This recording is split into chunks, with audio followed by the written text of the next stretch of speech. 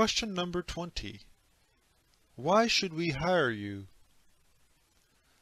Just as important as the very first question on this list, this is your last chance to tell this employer why you are the best choice for this position. You should talk about your experience and how you could use that to benefit the company. Don't be afraid to exalt yourself without coming off as egocentric. Be polite and smile. As bonus advice, before going for an interview, make sure you do your research about the company you have interview with.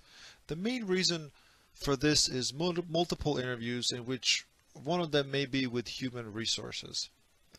Thank you so much for watching. Truth be told, there are countless questions that you may come across and it's almost impossible to know which ones.